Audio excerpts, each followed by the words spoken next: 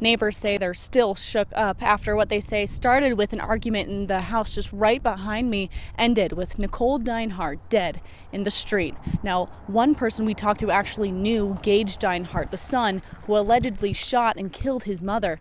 She says knowing Gage, this is something she just never could have imagined. A crime of passion. This uh, shocks law enforcement. It shocks the family.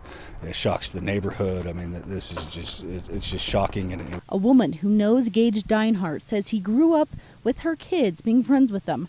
For her, the crime is heartbreaking. I mean, killing somebody is a big thing, so especially family. So it's just hard to believe it.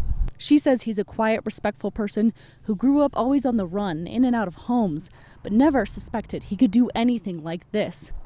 He's just had a troubled life, like a lot of other people, and I just never thought that this would happen.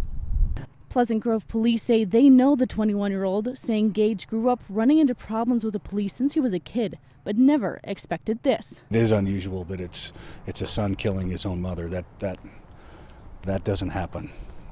Neighbors in the area say they stayed up all night. They told ABC4 they're too spooked and scared of retaliation to speak on camera, saying they heard the mother and son fighting, the gunshots, and saw Nicole dead in the street. One neighbor says his wife heard the gunshot going to bed. He says things like this don't happen in Pleasant Grove. The big city, yeah, but not here. Now, the captain of the police department saying that he hopes Gage is held without bail so that these neighbors don't have to be scared of retaliation. He says that if Gage is convicted of this crime, he could be facing up to life in prison. Reporting in Pleasant Grove, I'm Ali O'Rulian, ABC4 News. Thank you.